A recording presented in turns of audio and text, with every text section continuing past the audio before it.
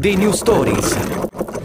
La tua informazione libera. Un tragico evento ha scosso la tranquillità del comune di Manziana, a pochi chilometri da Roma, dove un uomo è stato attaccato e ucciso da tre Rottweiler mentre faceva jogging nella Macchia Grande, una nota area boschiva della regione.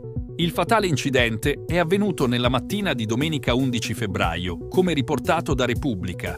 Intorno alle 8.30, un pastore che si trovava nei paraggi è stato testimone dell'aggressione e, insieme ad altri due passanti, ha tentato invano di difendere la vittima, un uomo di mezza età ancora da identificare, munito solo di un bastone. Nonostante gli sforzi, l'intervento è stato vano e l'uomo è stato trovato con profonde ferite inferte dai cani in diverse parti del corpo, compreso il volto, il collo e le braccia. Al momento dell'arrivo del personale del 118, l'uomo era già deceduto a causa delle ferite riportate. Indossava abbigliamento sportivo, segno che stava svolgendo attività fisica nel bosco. Le autorità, tra cui i carabinieri di Manziana, la Guardia Parco, i carabinieri forestali e i veterinari, si sono mobilitati per rintracciare i tre Rottweiler, che si erano allontanati da un giardino di un'abitazione privata nelle vicinanze. Nella tarda mattinata i cani sono stati localizzati, sedati e catturati dai veterinari e ora sono custoditi in un canile locale in attesa delle decisioni delle autorità giudiziarie.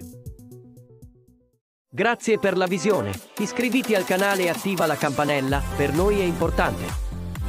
Resta sempre aggiornato.